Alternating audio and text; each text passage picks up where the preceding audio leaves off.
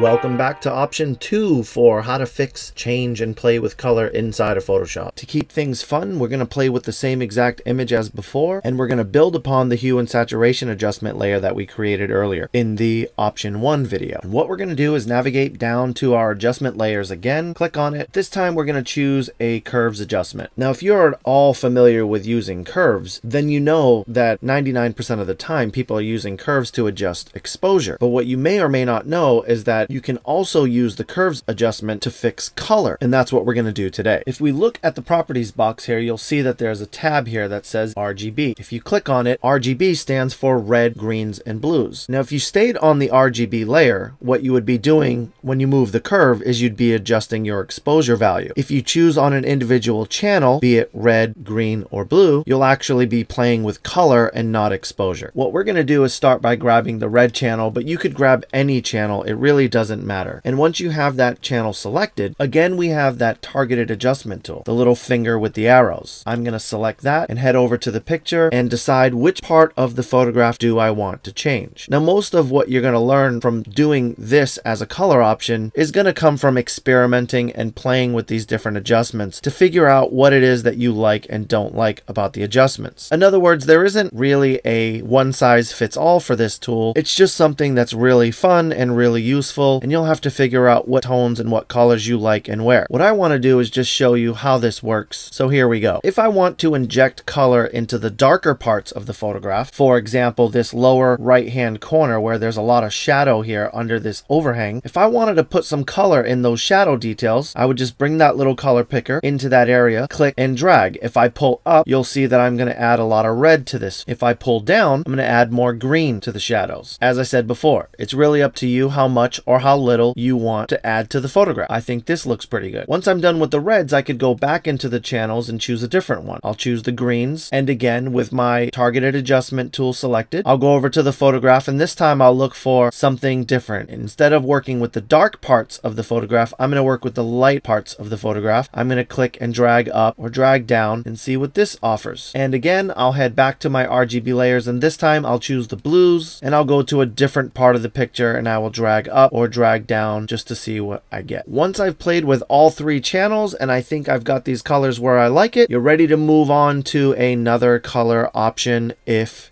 your photo so desires. The last and final thing that I'll say about this is if you're unhappy with one of the colors that you did, you can always go back to one of those channels, let's say the green channel, and I can always go in here and make a correction if I didn't like the colors that I were uh, imposing into this picture. In other words, nothing is ever permanent, and as always, you have this little undo loop-de-loo button here that you could click on, and it would set this back to zero, and you could start all over. So that is option option 2, playing with color inside of Photoshop using a curves adjustment tool. As always, we thank you so much for watching. If you haven't already subscribed to this channel, please go ahead and do that. And if you love this video, go ahead and smash that like button and we'll catch you in the next episode.